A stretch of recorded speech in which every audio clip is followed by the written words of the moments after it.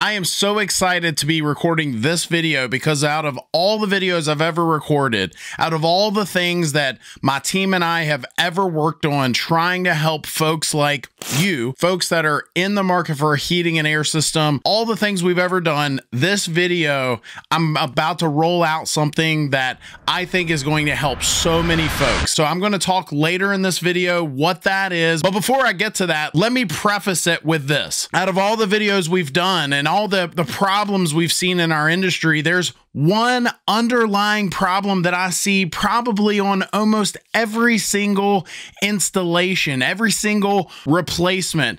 Every time we help somebody on our website, newhvacguide.com, through the process of buying a heating and air system, it's always this one thing, and that is the sizing of the HVAC system. And no matter how many people I help, I was just helping somebody the other night on our website, and it was almost like a little bit of pushback. I was telling them, you really need to get a load calculation And he's like, well, yeah, but you know, I called these companies and we went through this and that, and and I was like, yeah, I hear you, but you really probably should start with a load calculation. And he's like, well, yeah, but I did some dabbling and I, I, did some math myself and I went on a few different websites. And I said, yeah, yeah, I, I hear you, but you really should probably do a load calculation.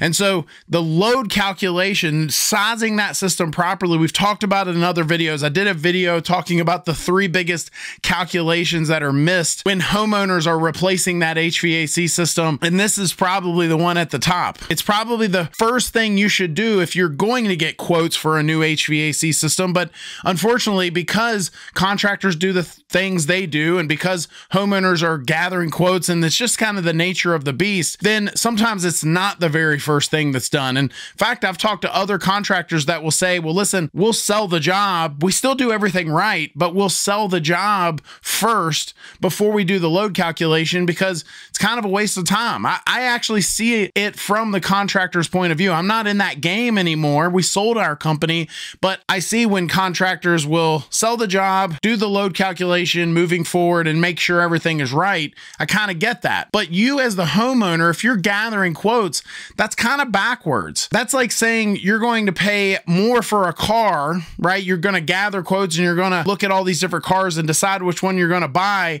and then decide now that I'm paying for the car, I've, I've now committed to paying this amount of money.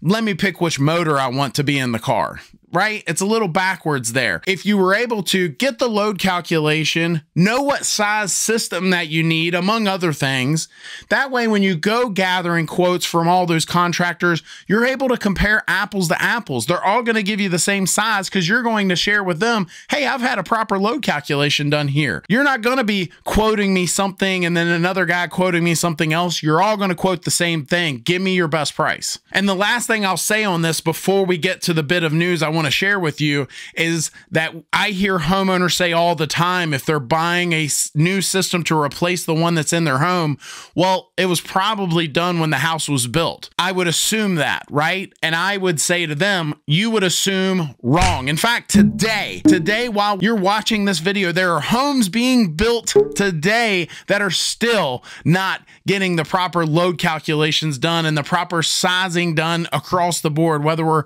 talking about the ductwork the HVAC system, or anything else. It's still to this day not being done properly. And so, my message to you, if you see this video, is now we have a way. We have a way. If you can't tell, I'm a little excited. We have a way for you to finally put things in order and get that load calculation done right from the get go. And here's how we're doing it we have found the right company. We've been able to partner with the right company. And I'm going to put a link down in the description of this video. And what you'll do is you'll simply click that link, put your info in there, and the company will call you. And they're going to need some information from you to be able to do this correctly. But again, this is hopefully going to empower you as the homeowner gathering quotes, putting the cart before the horse, being able to actually do things in the proper order here. The whole goal of this entire video, the entire process, if you will, is to hopefully help you avoid all those problems, all those people I help on the website,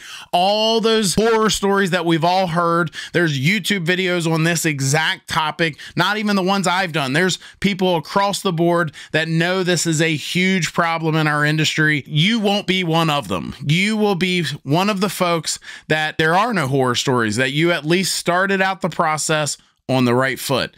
So click that link in the description of this video, put your information in. We'll get you in touch with the right folks.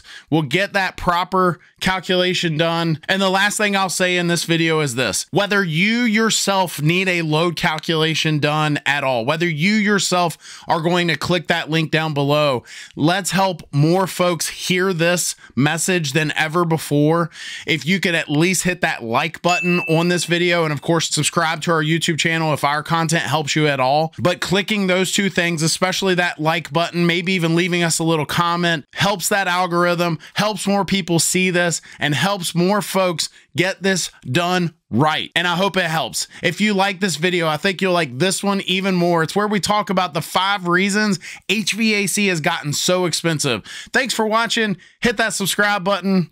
We'll see you next time.